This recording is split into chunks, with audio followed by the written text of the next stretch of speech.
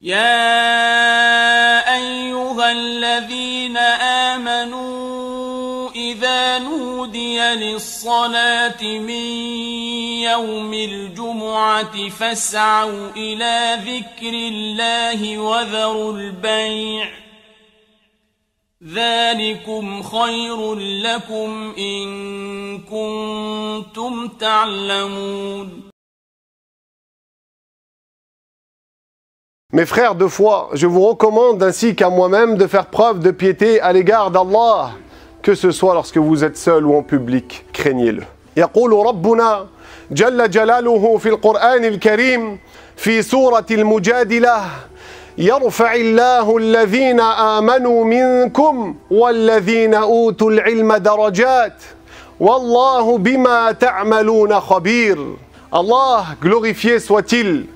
nous dit dans le Coran ce qui veut dire en français. Dans Surat Al-Mujadila, Allah élève en degré ceux parmi vous qui ont cru et acquis la connaissance, la science de la religion. Et Allah sait parfaitement ce que vous faites.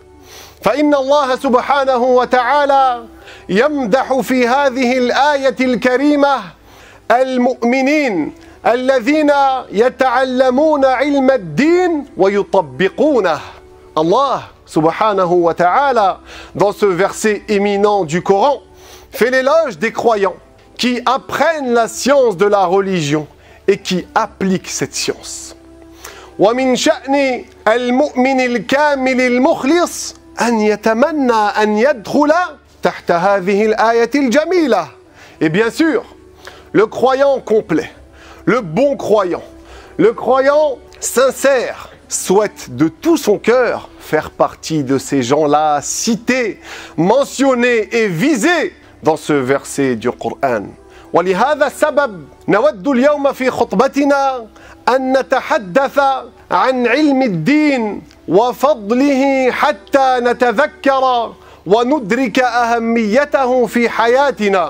Et c'est la raison pour laquelle nous souhaitons aujourd'hui, durant notre discours, parler, expliquer ce qu'est la science de la religion et parler de ses bienfaits, de ses profits, afin que chacun d'entre nous se rappelle et saisisse l'importance de cette dernière dans sa vie au quotidien.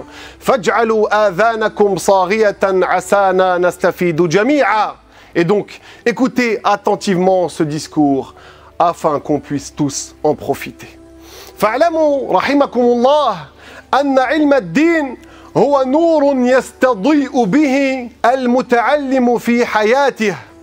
qu'Allah vous fasse miséricorde, que la science de la religion est à l'image d'une lumière qui éclaire celui qui l'apprend, celui qui l'acquiert.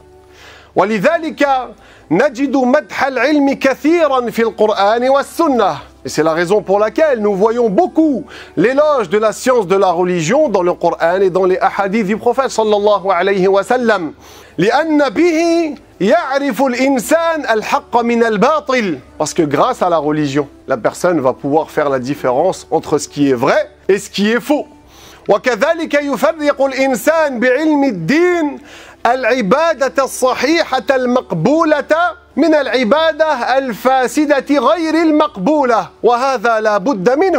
et également avec la science de la religion la personne pourra faire la différence distinguer entre l'acte d'adoration qui est correct, qui est valable, qui est agréé par Allah, qui est récompensé, de l'acte qui est incorrect, qui n'est pas récompensé. Et ça, c'est quelque chose de fondamental dans notre quotidien. وخاصة أن الله تبارك وتعالى أخبرنا أن بعض الناس يوم القيامة سيتفاجؤون أنه أن ليس لهم ثوابا لأعمالهم Parce qu'Allah nous fait savoir dans le Coran, Allah nous informe qu'il y a des gens au jour dernier qui seront étonnés de ne pas retrouver des récompenses pour leurs actes d'adoration qu'ils ont pu faire ici-bas. Ils faisaient des actes d'adoration, ils faisaient du bien d'apparence, mais avec de l'ignorance. Ils faisaient des choses qui n'étaient pas valables. Prenons un exemple. في كل أسبوع نرى أو نسمع من بعض الناس من يأتي ويلتفت إلى هاتفه أو يحدث صديقه والتحدث أثناء الخطبة لغير سبب شرعي يذهب الثواب كما قال العلماء وبعض الناس لا يعلمون هذا وسيتعجبون يوم القيامة On trouve des gens le jour du vendredi qui viennent assister au discours, qui n'écoutent pas attentivement le discours et bien plus encore, certains discutent entre eux. Il y a même eu quelqu'un, il y a même déjà eu quelqu'un qui a répondu à son téléphone durant le discours. Et il faut savoir que les savants nous ont dit que celui qui parle sans raison durant le discours du vendredi, il en perd les récompenses. C'est quelque chose de grand. Et donc il y a des gens qui vont s'étonner d'avoir perdu les récompenses parce qu'ils ne savent pas cela, parce qu'ils n'apprennent pas la religion. Rabbuna il y a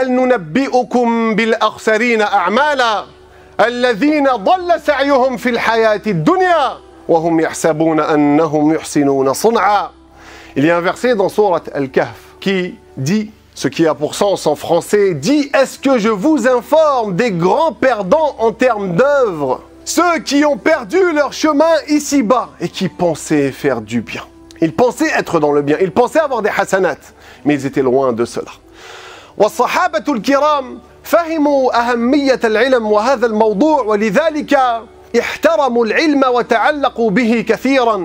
faut savoir que les compagnons du prophète sallallahu alayhi wa sallam avaient bien compris le mérite et l'importance de la science de la religion, d'apprendre cette dernière. Et c'est pour ça qu'ils respectaient la science. Et c'est pour ça qu'ils s'attachaient énormément à la science de la religion. Enfin, Abdullah ibn Abbas. Prenons l'exemple de Abdullah ibn Abbas, le cousin du prophète sallallahu alayhi wa sallam, son petit cousin. بعد وفاة النبي صلى الله عليه وسلم وكان وقتئذ عمره ثلاث عشرة سنة كان هذا الصحابي يزور كبار الصحابة ليسألهم في أمور الدين في علم الدين Après le décès du messager sallallahu alayhi wa sallam, Abdullah ibn Abbas avait environ 13 ans. Il était jeune, c'était un petit garçon. Il allait visiter les grands compagnons du Messager sallallahu alayhi wa sallam, ceux qui ont vu beaucoup de choses de la part du Prophète et appris beaucoup d'informations de la part du Prophète afin de les questionner, d'augmenter en science, en connaissance.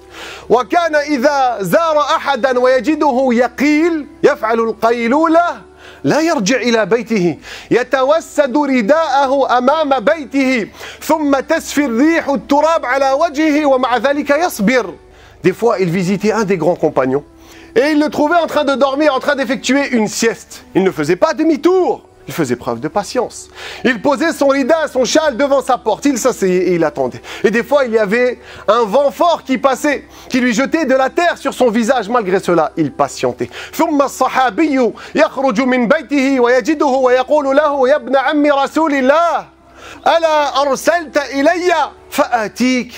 Ensuite, le compagnon en question, après sa sieste, sortait et trouvait abdullah ibn Abbas devant sa porte et lui disait Oh cousin du prophète sallallahu alayhi wa sallam, pourquoi tu ne m'as pas envoyé quelqu'un et j'allais moi me déplacer vers toi فيقول له عبد الله بن عباس أنا أحق أن آتيك لأسألك معناه لأجل العلم معناه من شدة احترامه للعلم ينبغي للطالب أن يخرج هو حتى il lui disait, c'est plus méritoire. Ce qui doit être fait, c'est que moi, je sors de chez moi pour venir demander la science. C'est comme ça que ça se passe. Quand tu veux la science de la religion, c'est toi qui te déplaces. مرة سلطان طلب من al-sahih. »« البخاري أن يأتي إليه ليعطيه الصحيح صحيح البخاري فالإمام البخاري ماذا قال له قال له العلم لا يأتي إنما يؤتى إليه أنت تخرج من بيتك une fois, un sultan, un gouverneur, a demandé à l'imam al-Bukhari de venir à lui afin de lui transmettre son livre connu, le recueil As-Sahih, Sahih al-Bukhari. Al-Bukhari lui a répondu quoi Il lui a dit La science ne se déplace pas. C'est nous qui nous déplaçons vers la science. Regardez sa réponse. هو سلاح لنا من مكائد الشيطان. Et sachez également que la science de la religion est une arme pour chacun d'entre nous contre les pièges du شيطان وكما يعلم كل واحد منا الشيطان يريد أن نهلك وأن ندخل العذاب والنار معه والعياذ بالله. Et comme chacun d'entre nous le sait, le shaytan » Ce qu'il souhaite de nous, c'est quoi C'est qu'on le suive en enfer, qu'on aille se faire châtier avec lui en enfer pour l'éternité.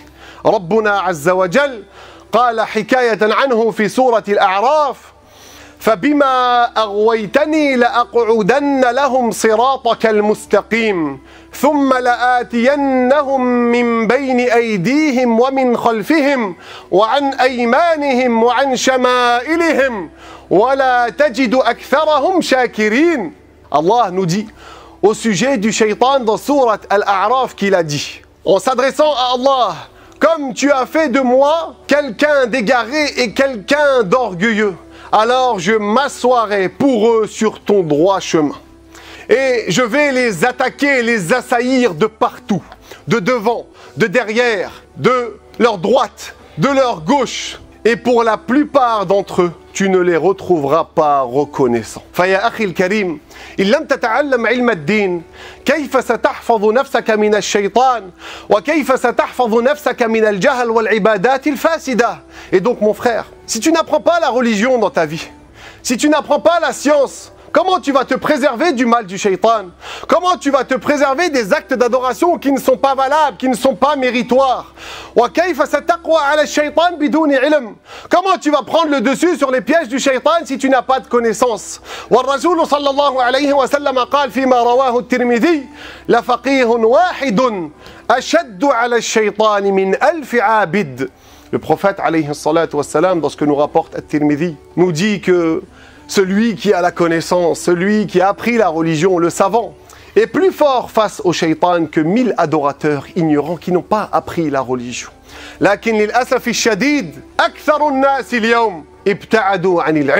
Mais malheureusement, nous vivons dans une époque dans laquelle la plupart des gens se sont éloignés de la science, de la religion. La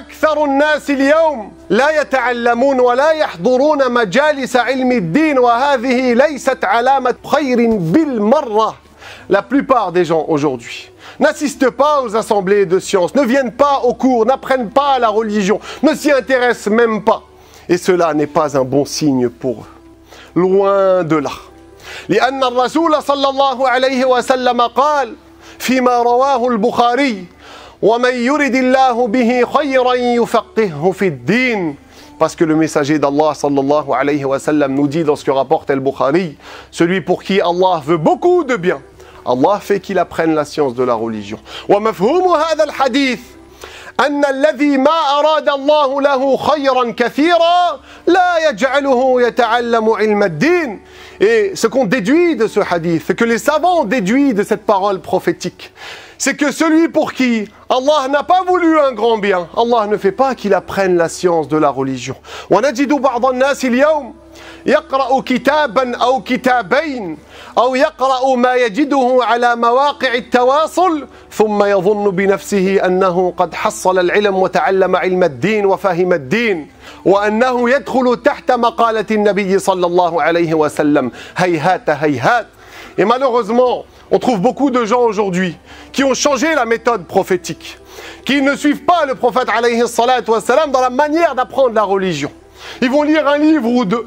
Ils vont aller lire des posts sur Internet. Et suite à cela, ils vont penser avoir, avoir acquis, avoir su, avoir connu, avoir maîtrisé la science de la religion. Et ils pensent même, certains, à faire partie du hadith qu'on vient de citer juste avant, dans lequel le prophète dit que ces gens-là qui apprennent la religion, Allah leur veut un grand bien. Mais ces gens-là, en réalité, sont loin de la vérité sont loin de la parole du prophète sallallahu alayhi wa sallam.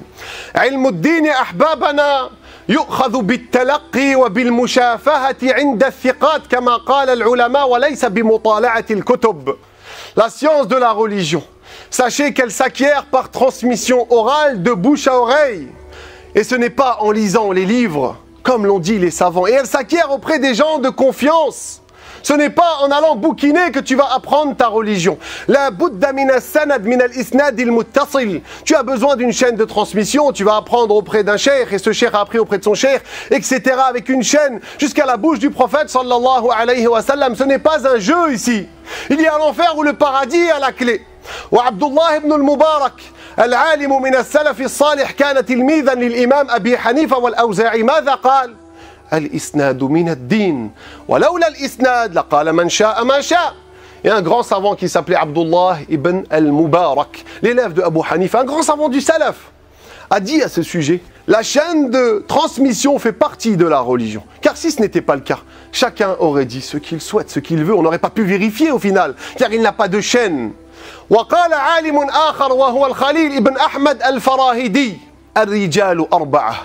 Et un autre savant a dit les gens sont de quatre sortes. La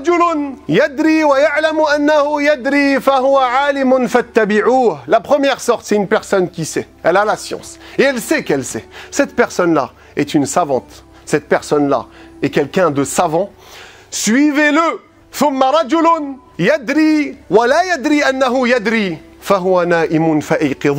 La deuxième sorte, c'est quelqu'un qui sait mais ne sait pas qu'il sait.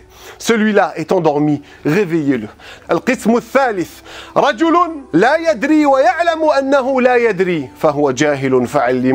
La troisième sorte, c'est une personne qui ne sait pas et elle sait, elle reconnaît qu'elle est ignorante. Cette personne est ignorante, enseignez-lui.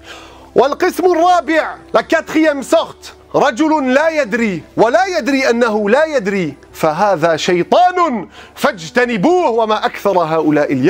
La quatrième sorte, c'est quelqu'un qui ne sait pas. Et il ne sait pas qu'il ne sait pas, il croit qu'il a la connaissance. Lui, c'est un shaitan, il est égaré. Préservez-vous de lui. Et combien de gens aujourd'hui font partie de cette catégorie Faya Akhil Karim, Et donc, mon frère, pose-toi la question tu fais partie de quelle catégorie parmi ces quatre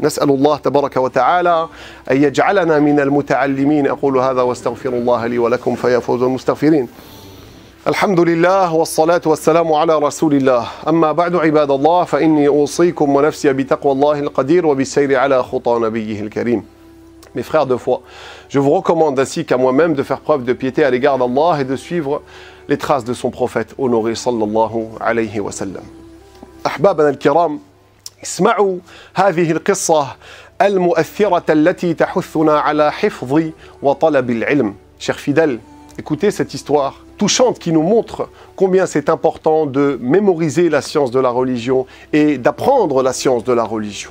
يروى أن الإمام أبا حامد الغزالي الذي عاش في القرن الخامس الهجري كان مرة عائدا مع أصحابه من رحلة علمية في مدينة أو من مدينة جرجان في إيران On rapporte que l'imam Abu Hamid al-Ghazali, ce grand savant du 5e siècle, revenait une fois d'un voyage scientifique avec ses compagnons, d'un voyage dans la ville de Djurjan, de Gorgan, en Iran.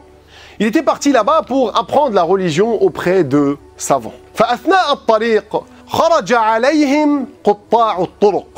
Et durant le chemin du retour, des brigands sont apparus sur leur chemin. وأخذوا منهم جميع ما في القافلة بما من ذلك من كراريس الإمام Et ces brigands ont dérobé, ont volé à cet imam et ses compagnons tout ce qu'il y avait dans leur convoi et même les livres, les feuillets de cet imam. لأن هذا الإمام كان قد حصل العلم من هذا الأستاذ في جرجان وسمى هذه الكراريس التعليقة ما كتبه كل الفوائد التي كتبها من هذا العالم وسجلها ودونها car cet imam durant ce voyage il avait comme des petits fascicules des petits livrets C'était ses notes, ses annotations. Il avait appelé ça les annotations.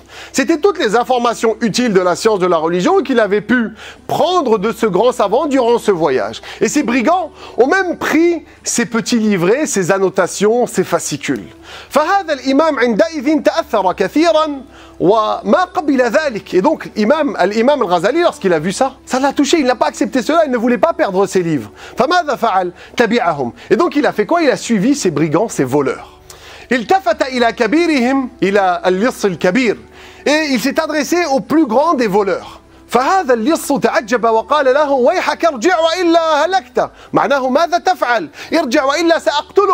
Et ce voleur s'est étonné, le chef des voleurs s'est étonné, il lui a dit Mais qu'est-ce que tu fais Fais demi-tour, sinon tu vas à ta perte, je vais te tuer, on va te tuer. N'ose pas faire cela.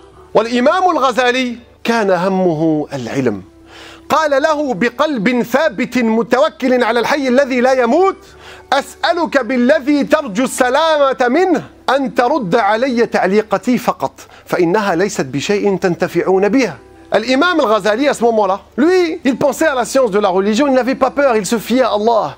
Il lui a dit avec un cœur ferme, Je te demande par celui dont tu souhaites la sauvegarde de me rendre mes annotations, mes petits livrets, car ce sont des choses qui ne vous profitent pas, vous êtes des voleurs, vous, vous, ne, prêtez pas attention à la science de la religion. Ce voleur lui a dit, mais tu parles de quoi Tu fais référence à quoi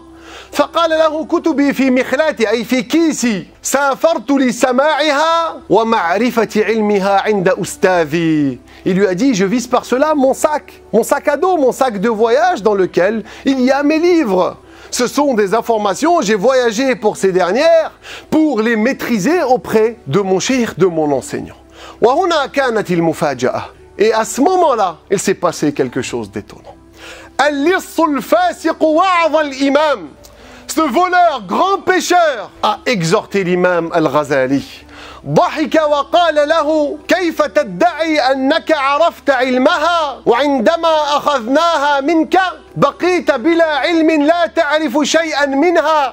lui a dit, après avoir rigolé, comment tu prétends avoir maîtrisé ces choses-là, cette science-là, alors que lorsque nous l'avons prise de toi, tu es resté sans science et tu ne connaissais plus rien de ces informations.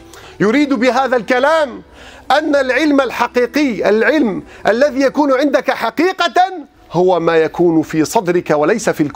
veut lui dire par là que la vraie science que tu maîtrises, c'est celle qu'il y a dans ton cœur, celle que tu mémorises et non pas ce qu'il y a dans les livres. Et ensuite, il a eu de l'empathie pour lui, de la pitié pour lui et lui a rendu ses livres. Et bien sûr, l'imam al-Ghazali, lorsqu'il a entendu cette phrase, il y a eu un déclic dans sa tête. Ça l'a touché énormément. قال